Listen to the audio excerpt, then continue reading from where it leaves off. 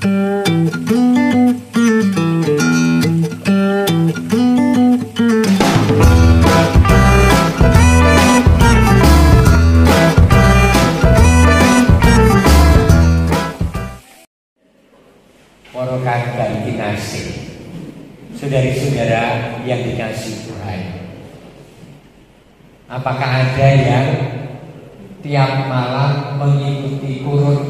yang dipimpin Romo Agus? Honora Satu, dua, tiga, empat, lima. Ya berapa ya?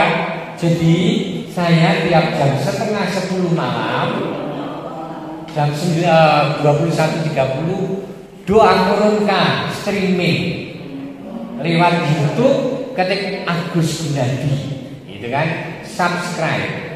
Kenapa subscribe karena itu tiap malam akan ada sehingga anda langsung terdaftar kenapa Roma Agus mengiklankan karena saya tidak adsen tidak mendaftarkan di YouTube jadi saya meminta anda subscribe itu untuk kepentingan anda bukan untuk uh, iklan ya, nggak ada iklan di situ. Itu melulu untuk pewartaan, untuk berdoa bersama Anda.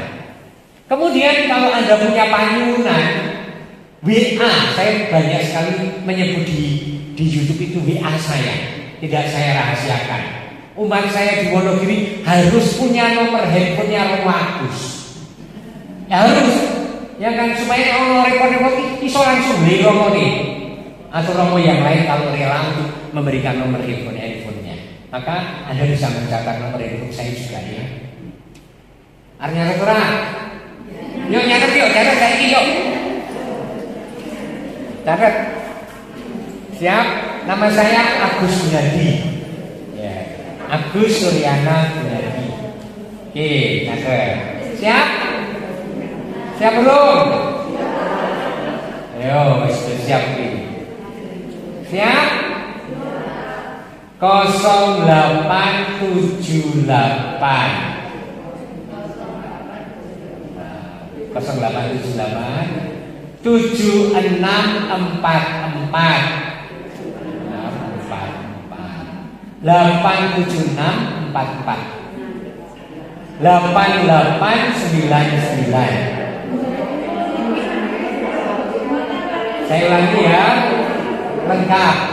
0878 7644 8899 Doa siap malam. Sudah hampir dua tahun orang pedoti. Ya kan? Kalau malam nanti ternyata jam setengah sepuluh belum sampai ke Wonogiri kami akan berhenti di jalan untuk doa di mobil. Itu. Tapi mudah-mudahan sampai rumah ya suster ya setengah sepuluh supaya tidak mundur setengah jam pulangnya. Jadi siapa tadi yang mau terakhir harus segera terakhir. Nah, kenapa saya mengatakan itu? Itu tiap hari saya juga mengisi renungan dengan uploadan YouTube tiap hari. Oh, jadi memang uh, aktif romantis itu. Untuk apa? Untuk pewartaan. Sejarahnya itu begini. Saya itu kan ke mana-mana itu kan mengajar. Saya di Solo ini sudah mengajar saya kan sudah beberapa tahun sebelumnya. Atau ke Semarang, ke Solo, ke Jogja. Terus ketika ada pandemi, ayo bingung aku yang mengatakan yang memberi kesaksian, reevangelisasi lewat opo. Maka kemudian saya membuat nanu-nanu, podo Anda semua itu nggak tahu apa-apa, YouTube juga nggak tahu, nanu-nanunya ini wih munggah wih tak delok gue pun ya bisa nih gue delok gue ora ono seneng aku ya kan ternyata ada di YouTube lalu satu demi satu orang melihat dan memberi komentar yang menyemangati. Satu demi satu. Maka kalau sekarang umat paruni virtual itu ada 24 ribu Kui asal ya siji loro telu papat limo ora tiba-tiba rong ewu patang ewu lima ewu enggak. Satu demi satu. Poinnya yang ingin saya katakan kepada anda semua ibu ibu bapak bapak ber, ber, berdasarkan apa yang kita uh, baca hari ini sebagai firman Tuhan. Ini Mulainya awalnya aku bikin doa turunkan tiap setengah sepuluh malam lewat YouTube itu adalah ketika waktu itu hampir dua tahun lalu Juni, Juli, Agustus Delta, ya kan? Yang sangat serem, yang tiap hari di depan gereja ada muing, muing, muing, muing, ambulan, yang serba sangat mencekam. Lalu saya gelisah, aku di kamar terus, apa yang bisa saya lakukan untuk uh, wabah corona ini, wabah covid ini. Dua minggu saya gelisah dan akhirnya menemukan salah satu sumbangsih, yaitu mengajak semua orang untuk doa turunkan yang jam setengah malam. Namanya orang takut, namanya orang panik, namanya orang cemas, namanya orang yang gelisah, dosa banyak. Sehingga yang ikut doa saya tiap malam itu 900, 1000, 1200, 2000 mana saja? Dari lima buah kecuali Amerika Latin yang saya belum pernah mencek. Tapi dari Afrika, Asia, Australia, uh, Eropa, Amerika Serikat. Ada yang nah iki nek lagi terdesak nek lagi bingung nek lagi bermasalah sing sembahyang oke. Ya kan saiki covid medun saka sangatus rong atus telung puluh telung atus rong puluh patang liyane dolari sembahyang wong uripe wis ayem sapa kuwi? Kita semua termasuk Romoni ya lah lali lupa berdoa ketika kita mengalami bahwa aku bisa melakukannya sendiri seolah-olah ya pasti anda tidak pernah mengatakan itu. Tapi seolah-olah aku bisa melakukan sendiri tanpa Gusti Allah. Mesti orang dulu gitu pasti tidak begitu. Tapi seolah-olah sikap hidup kita itu mengatakan wis ora apa-apa aku iso nyonggo dhewe aku kuat aku bisa sendiri. Rasa karo Gusti Allah. Rasa jaluk tulung Gusti Allah. Mudah-mudahan keliru cara pikir saya yang seperti ini. Tetapi lihatlah bahwa setiap pribadi itu kecenderungan nek iso tak sombong dhewe tak sombong Amin iki saka pihak kita. Sing dahsyat kuwi Gusti Allah. Kowe pancen mbok menawa iso nyangga diri. Ning nyuwun marang aku njaluk tulung aku masalahmu dadi rampung masalahmu dadi beres. Najan ora beres sing kowe ora dhewean mergo aku kuwi tansah ngampingi kowe ngono kurang lebih Ibadah dan itu adalah Tuhan kita yang diwarisakan Bapak kita yang diwarisakan oleh Tuhan Yesus. Oke, mbok menawa kowe sore dhewe. Oke, menawa kowe ayem mergo punya asuransi. Oke, kowe jajanan oke. Oke, kowe seolah-olah itu semua hidup kita dijamin. Enggak, loh. Kita semua mengalami itu. Enggak. Tetapi mengalami Tuhan yang hadir, mengalami Tuhan sing iso dijaga kene aku duwe panyuwunan, itu jauh lebih ayem uripe. Ketika kita sudah mendapatkan banyak hal dalam hidup, masih ada satu yang kurang. Dan satu itu ternyata menjadi pokok. Siapa? Tuhan yang aku hadirkan dalam hidup. Yang diperkenalkan oleh Allah Putra Tuhan Yesus itu Gusti Allah minangka bapa, seorang ayah atau seorang ibu, sosok orang tua kita. Yang apa? Yang sedemikian kita mursal sedemikian kita mengecewakan bapak ibu orang tua kita orang tua kita itu tetap hatinya penuh belas kasih dan cinta. Dalam khotbah di bukit Yesus berkata kepada murid-muridnya mintalah maka kamu akan diberi. Jadi Tuhan itu malah menawarkan itu anak-anakku orang tahu toh ya Kok serius toh ya minta mengkolo-kolo atau ya siapa tahu Tuhan memberi tanpa iman sering kali ya pokoknya doa mungkin oke tapi kemudian ya hanya begitu saja dan itu yang saya alami orang mungkin lah Nah aku mau diabetes, saya diabetes sudah 25 tahun dan suntik. 25 tahun perempuan apa sejak saya muda. Dan kemudian saya mencari kesimpulan nggak mungkin Tuhan menyembuhkan saya, enggak lah, enggak. Sehingga dua-dua saya mungkin dari dia sendiri tidak mantap dan saya tidak pernah minta Tuhan sembuhkanlah aku karena menurut dokter diabetes itu nggak sembuh romo, cuman dikelola dengan baik.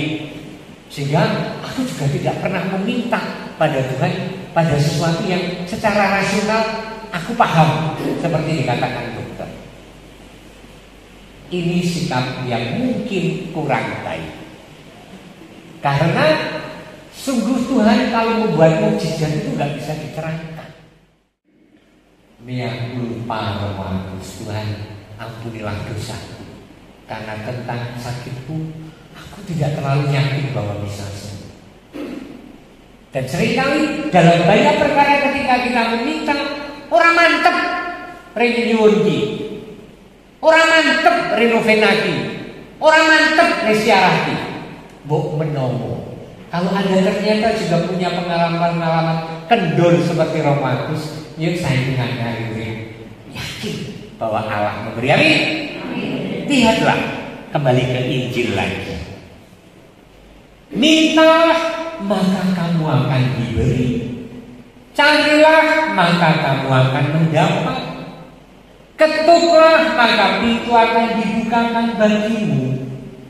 Karena setiap orang yang meminta akan menerima. Setiap orang yang mencari akan mendapat. Setiap orang yang mengetuk bagimu pintu baginya pintu akan dibukakan. Saya ingin memberi catatan kecil. Apa yang mesti ngono? Apa yang mesti? Apa sih jadi panjalku, panjurku mesti dikabulkan Gusti Allah? Ora. Selalu ada catatan dikabulkan sesuai dengan kehendak. Ada orang-orang tertentu yang dititipi kepercayaan oleh Tuhan untuk terus membawa salib dalam hidup. Sehingga ketika aku itu kurang ngopo ini aku kurang ngopo ya gereja, aku kurang ngopo ya sembahyang, tetap baik tidak bisa lepas dari pergulatan yang terus menerus. Entah itu sakit fisik sangat mungkin ya, itu membawa terus fisik yang tidak sempurna. Entah itu konflik di dalam keluarga, entah itu apa pun bisa terjadi. Kita sudah meminta, kita sudah memohon, tapi kok rasanya tidak ada kemajuan. Sangat mungkin pulang Tuhan memang mempercayakan salib itu terus kita bawa. Kita katakan dalam kurungnya nanti yang Tuhan mendengarkan doa kita. Nah saudara-saudara yang dikasih Tuhan diteruskan dalam Injil untuk meyakinkan kita Adakah seorang daripadamu yang memberi batu kepada anaknya jika ia meminta roti atau memberi ular jika ia meminta ikan? Jadi jika kalau jadi jika kamu yang jahat tahu memberikan yang baik kepada anak-anakmu, apalagi bapakmu yang di surga. Keren banget ya. Aku terus berpikir, kok Gusti Allah ini jiat, jiat, memaksa untuk meyakini bahwa dia baik Gusti Allah perlunya apa toh? Tuhan itu punya apakah punya udang di balik batu sehingga mengajak oh kita untuk bertobat, mengajak kita untuk memohon, mengajak kita untuk mengandalkan Dia. Jawabannya tahu orang no. Alasannya Gusti Allah. Alasannya siji terus Aku terus aku di orang di program ora di Aku terus marang kowe lan aku seneng yang kowe iki wilujeng. Kamu itu selamat, kamu itu bahagia hidupmu. Jadi jangan pernah ada orang yang merasa terpaksa atau takut untuk tidak beriman pada Tuhan. Apalagi untuk beriman. Itu adalah pilihan penuh kegembiraan. Amin. Itulah kenapa pilihan saya menjadi imam dalam pergulatan yang panjang akhirnya saya merasa bahwa ya ini pancen timbalan aku suka cita melayani Tuhan. Aku suka cita menjadi imam. Aku ingin bahwa ada banyak kesempatan bagiku untuk melayani di Wonogiri. Suka cita orang kalau mengatakan rumah Gus terlalu ceria apa iya aku itu selalu ceria. Ya Walaupun nek diri bimbol obat. Nek yo jenenge ya, ya kok nek kapan-kapan Gusti mundut ya wis rampung uripku. Lha nek anakku piye, putuku piye misalnya ya. Wis kok itu diurus diurus Gusti Allah luweh tinimbang awake dhewe sing ngurus. Jadi hidup ini tidak boleh kehilangan kegembiraan walaupun terbatas karena kita punya Tuhan yang lihatlah, mintalah maka kamu akan diberi, ketuklah pintu-pintu akan dibukakan. Carilah maka kamu akan mendapat. Aku jaminan nih, nek kowe sing jahat wae iso meneh sing apik karo anake apa meneh aku? Ngono lho Gusti Allah kuwi Amin